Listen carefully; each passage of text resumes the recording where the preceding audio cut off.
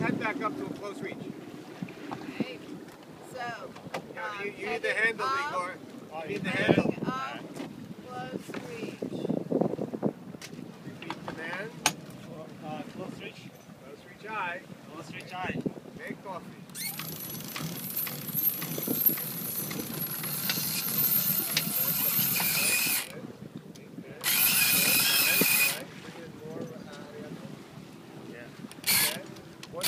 Alex, give the handle to Alejandro. Here, lock it in. Grab the lock it in.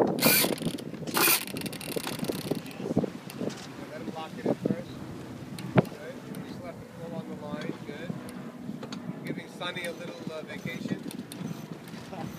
little drink. Alfred. Matt, Matt. We're heading to Magic to win, right? Huh? Yeah, Look at the arrow off a little bit. You get the coffee? Good. It Alejandro, she's doing it because yeah, you feel the boat bite, Yep. feel the speed increase, no more luffing of the main.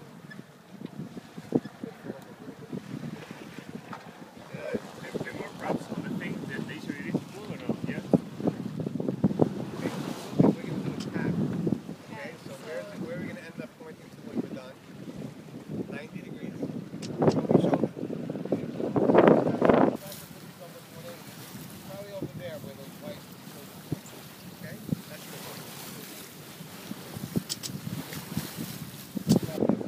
Yep. Okay. Don't All come right. to the post sequence. Slow mo, slow mo, slow mo.